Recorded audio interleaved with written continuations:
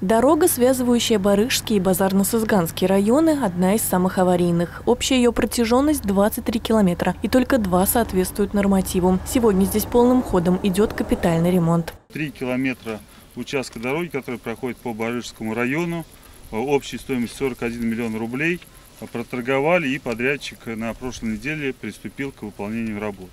Значит, срок окончания работ по данному участку, он является самым аварийным на всей дороге он выбрал был не случайно. Срок окончания работ 15 октября.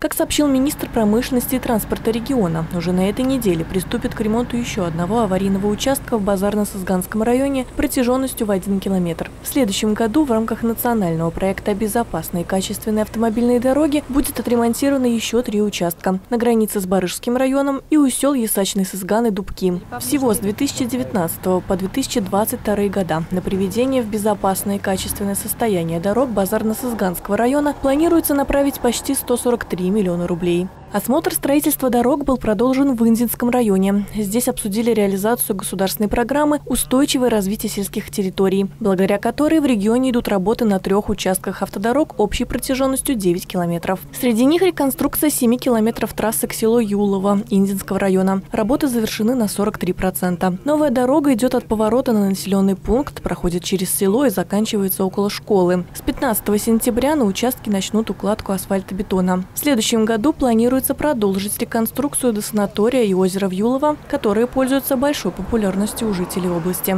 В настоящее время область поднялась еще на одну позицию в общероссийском рейтинге по темпам укладки дорожного полотна в рамках нацпроекта и теперь занимает четвертое место среди 83 субъектов. В Приволжском федеральном округе по этому показателю регион находится на первой позиции. Начиная с начала дорожно-строительного сезона по сегодняшний день у нас э, мы отремонтировали дороги на общей площади 2,5 миллиона квадратных метров.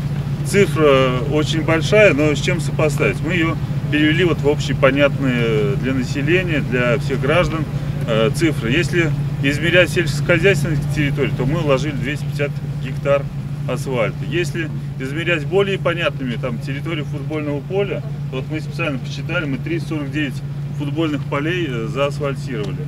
По словам Дмитрия Вавилина, накануне учебного года самой важной задачей было подготовить школьные маршруты и привести их в безопасное состояние. Всего их на территории региона насчитывается 418. На сегодня все школьные маршруты используются для перевозки детей в школу и обратно. Ирина Антонова, Юрий Ломатов, Новости Улправды ТВ.